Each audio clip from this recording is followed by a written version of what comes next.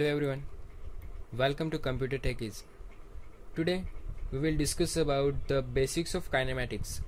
Kinematics that is the prob- uh, problems related with distance, velocity, and time. But before directly starting to these problems, we'll discuss about some basics. That is the three basic formulas of kinematics. They are V is equals to U plus AT. Second one is V square is equals to U square plus twice of AS. And the third one is S is equals to UT plus half AT square where u is the initial velocity.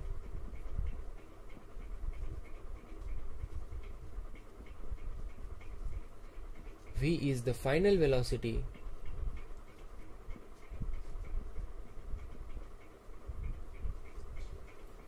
A is the acceleration. T is the time. And s is the distance so though we see these three formulas but most of the time student use the formula s is equals to ut. That is the distance is equals to velocity into time.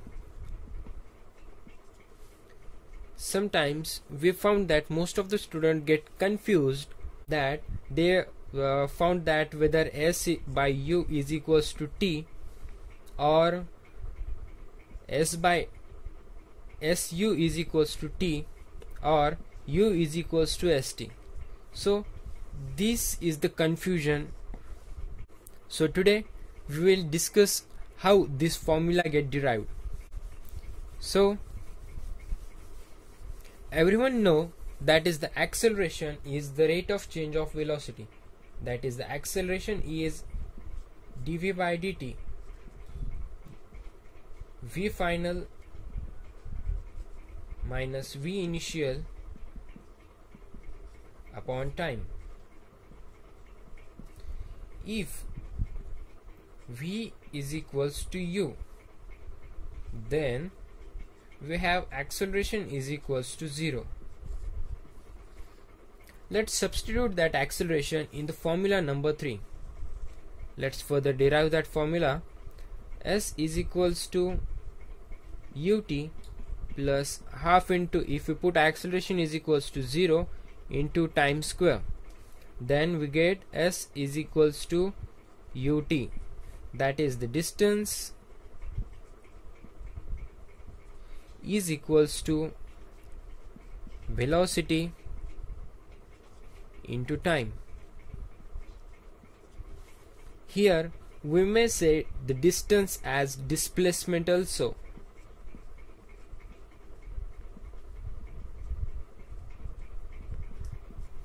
and velocity as speed also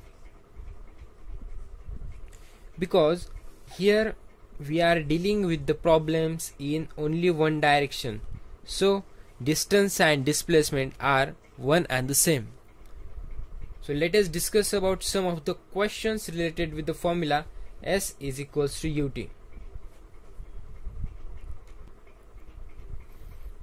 so here is the problem a car started its journey from city a to city b with initial velocity 20 km per hour both the cities are 60 km apart. Find the time required for the journey. As explained in the previous videos, it is better habit to note down the key points from the questions as a given section. So let's start with the solution. We have what is the given in the question. First, u that is the initial velocity of a car is 20 km per hour then the distance between the cities that is uh, denoted by s is 60 kilometer. And now what to find? We are asked to find the time required for the journey. If you find the difference between the units of the velocity and the distance then only the need of unit conversion is there.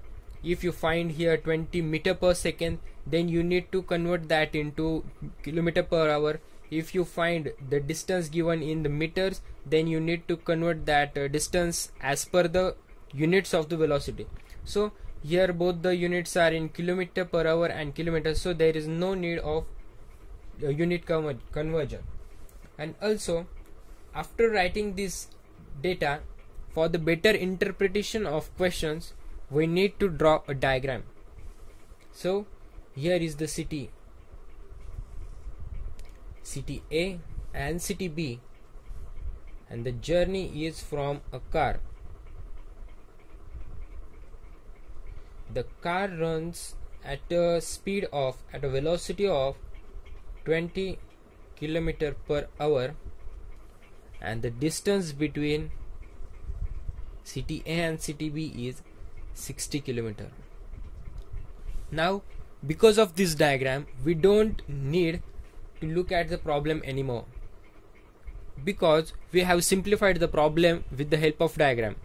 Now we know the formula that is the uh, acceleration is constant here. If not mentioned acceleration in the question then we assume that acceleration is equals to 0 and we know the formula for zero acceleration that is the s is equals to ut so put the values 60 kilometer is equals to velocity is 20 kilometer per hour into time. Kilometer get cancelled 23 are 60 therefore time required for the journey is 3 hour. So this is what the approach to solve the problems of the kinematics or any problem of the aptitude. Thank you. Like share and subscribe our channel computer techies. Thanks for watching